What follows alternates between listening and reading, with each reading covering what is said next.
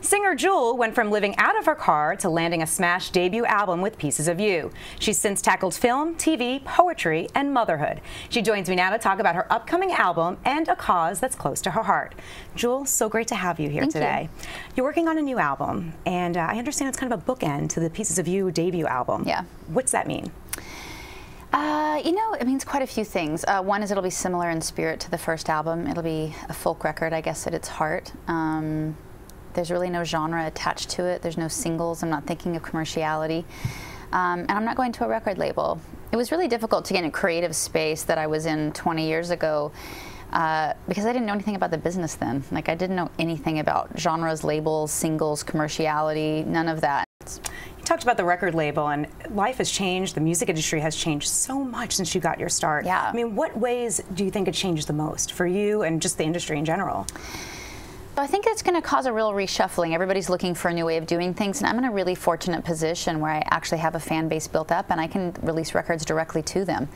Um, so depending on what your goals are, now as a mom, the one that's really affected me is I don't want to work like I used to. I don't want to tour and do promo the way I used to work on the months, three months on the road, three months at a time. Um, so for me, I think without having a label, I can still release my record.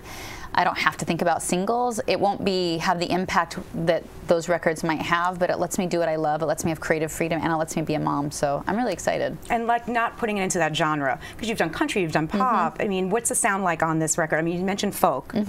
But going a little bit back to that. Yeah, I'd say I'm a, you know, folk artist probably in my heart, but I grew up listening to Merle Haggard and Loretta Lynn as much as I did Joni Mitchell and, and Bob Dylan, as much as I did the Beatles. So that's just in my DNA, and my first record, Pieces of You, had country songs on it with Don't. You're meant for me, honestly, as a country shuffle. Um, and then I also had kind of pop leanings from listening to great, you know, melody writers like Paul McCartney. Um, and then I'm a lyricist and I, I, care deeply about social issues, so that's sort of the folky in me. So this has that. It's just that I don't have to have a label to make me define myself. Um, I think labels are a little bit behind realizing that fans don't actually care a lot about genres and definitions, but radio stations and labels have built themselves in very specific boxes to do business. But fans don't really care. They'll have a Johnny Cash record and a Ramones record, usually. They're going to have both. You're also working on it, going to be working on a new song, and mm -hmm. it mm-hmm. goes back to home, and you're getting some fan involvement. What that, what's that all about? I understand it's part of the Rethink uh, organization. Yeah, I'm working with um, on this Rethink initiative um, so that people can rethink public housing and what it means. More than 2 million people in America rely on public housing to provide a home for their families, and there are at least a half a million waiting for a safe place to live. I'm Jewel, and I'd like you to join me and rethink how public housing is supporting your community.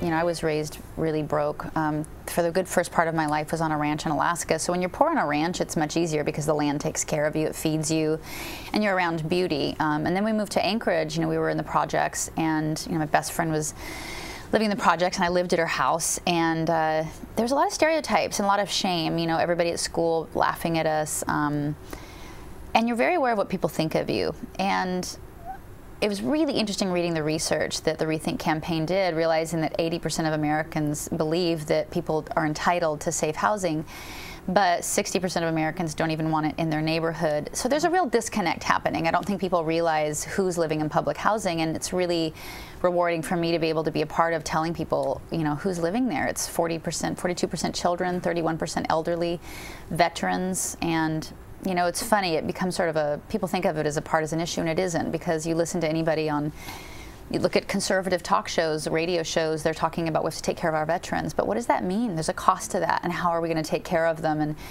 you know, I really love Gandhi's quote of you can gauge a civilization by how well it cares for its weakest members. And what do we owe our weakest members, and how does that happen? And also, learning the public housing isn't, you know, isn't a free ride. People pay rent. You know, the kids right. I grew up around, everybody was paying rent. They're paying their electricity bills. They're just at a disadvantage, and it helps moms get an education to put themselves through school to get back on their feet.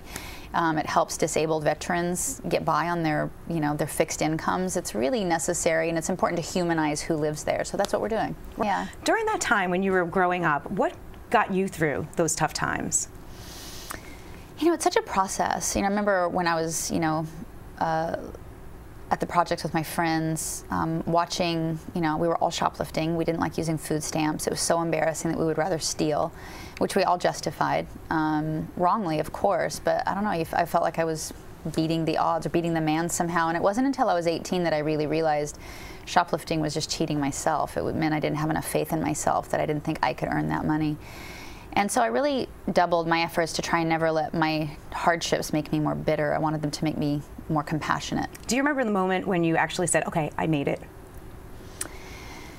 I don't think I ever felt secure or safe. Like it took me a long time for it to sink in, you know. And I was always very conservative, thinking it was all going to disappear tomorrow. Um, but yeah, there were moments that were crazy. I think I remember singing Hands uh, at the Vatican for the Pope and that was crazy. It was one of those moments where you're like, I wrote this while I was homeless about my hands are small, but they're mine, and what I do with them is my choice, that empowerment. And then there I was singing it for the Pope at the Vatican. It was pretty surreal. That's unbelievable. Yeah. thank you so much for coming in today, Thanks. Jewel. Singer-songwriter Jewel with the Rethink campaign. For this and all things entertainment, stay with CBSNews.com.